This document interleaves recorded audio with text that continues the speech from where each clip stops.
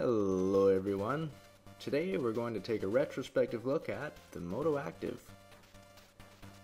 Released on November 6th, 2011, this was one of the original smartwatches that ran on the Android operating system. The only other real competitors at the time were the iMwatch and the WIMM 1. The iMwatch was underpowered and ran Android 1.6, and the WIMM 1 was locked down and a pain in the ass to run Android apps on. What else was current at the time? Well, the iPod Nano's 6th generation was the current iPod, and the iPhone 4S was the brand spanking new iPhone. The Xperia Play was still considered a pretty cool Android phone too. The Motoactv was powered by a 600 MHz OMAP CPU, a PowerVR GPU, and 256 megabytes of RAM. It also has Wi-Fi, Bluetooth, and GPS, and it runs on Android 2.3.4 Gingerbread. It uses a 1.6 inch 220 by 176 multi-touch screen, and it also has 5 buttons and a soft key.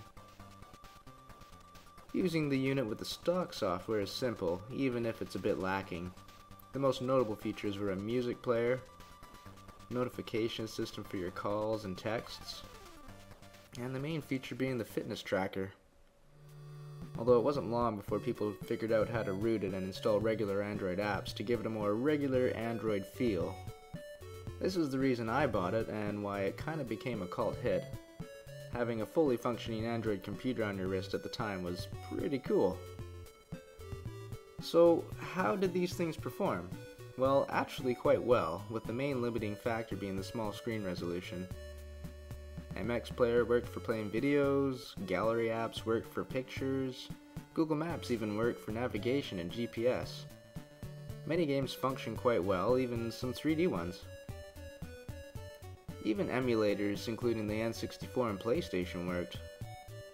This is the main advantage the Motoactv had over the iMwatch, the WIMM 1, and even the watches released in 2012 and 2013.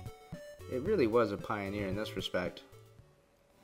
So, how well does it stack up today, nearly three years later? Well, aside from not being the most visually stunning watch out there, mm, at all, it still performs quite decently. It is definitely falling behind in specs now, with dual core and higher resolution screens becoming the norm. It also lacks features like a SIM slot for the full independence some smartwatches are offering today. Compared to Android Wear devices, it is more versatile with the ability to install Android apps. Standard Android apps, I guess, but it doesn't compare in terms of a notification hub for your phone. Still, it is a device that some people still seek out, since it is still a pretty cool piece of tech.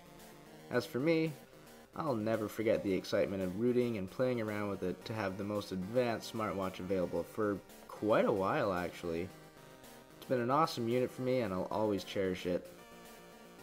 Until the battery inevitably shits the bed.